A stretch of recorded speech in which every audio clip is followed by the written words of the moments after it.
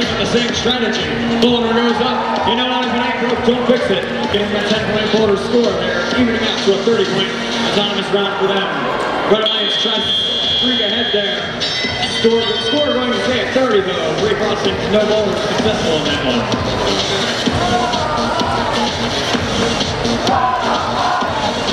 Makeshift robotics harpoons the Boulder into the lower part of that castle.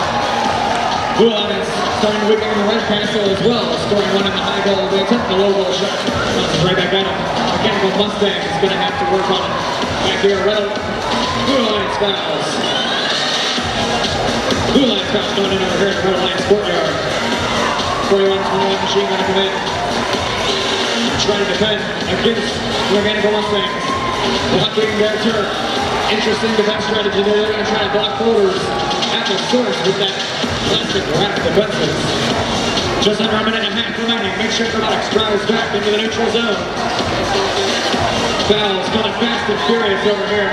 Head referee just signaling flag after flag. Not sure what's going on with this match. 781 machine launches debris across the field there. Gonna try across. Shimano Breeze despite that. With the Lorenzo. Canadian Cup on the batter there. Makeshift Robotics gonna have to chase down their motor. But the Kinetic Knights, they were right there to connect.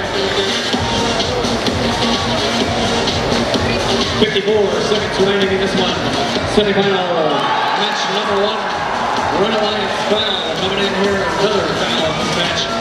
Mechanical Mustangs, their shot gets thrown off just barely. 41-21 machine to head. The Vikings, their defense proving pretty effective there. At least, if nothing else, is an intimidation factor. 34 seconds remaining in the match.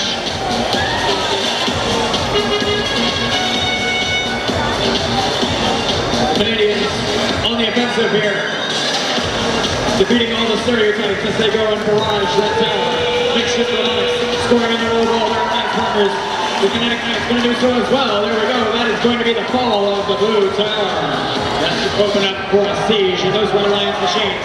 All trying to get parked up there in these last seven seconds to get that potential 25 point bonus. Looks like they are secure. Blue Alliance going to have two challengers there, but the Mechanical Mustangs getting called up in the courtyard. Very dramatic.